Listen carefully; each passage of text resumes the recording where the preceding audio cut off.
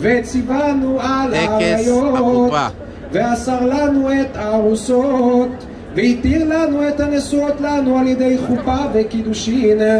ברוך אתה אדוני, מקדש עמו ישראל על ידי חופה וקידושין.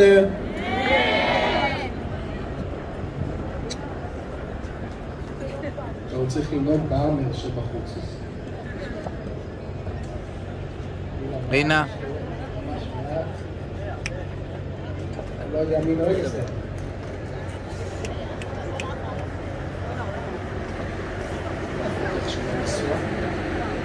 מי בנשואה פה מהחיילות?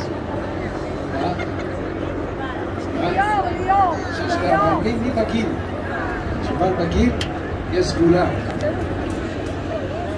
יש סגולה.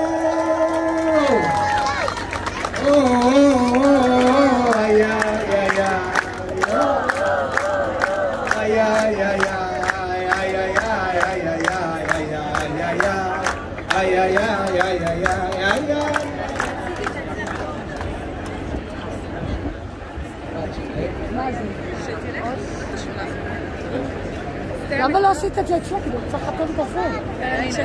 קנית את זה מכספך? מאה אחוז? לא מכרטיס אשראי משותף, או אבא, או אימא, לא ממושכן, שווה פרוטה? שווה, שווה. מאה אחוז? מאה אחוז. כן? איפה אמרת אחד מהם הוא עורך דין, מי שהיה איתנו בחדר? נוטריון? יכול לחתום על זה? שווה, איפה האל השני? אילן. אילן, אילן. בוא תעמוד עכשיו פה, זה תפקידך. שווה פרוטה? כן? תן לי פרוטה, לי. זה שלך, עוד פעם, תעשה קניין. תסתכל עליי, ואת תסתכלי עליי, אתם מתחתנים אחד עם השני, אתה מקדש אותה, לא אותי. הרי את מקודשת לי בטבעת זו כדת משה וישראל.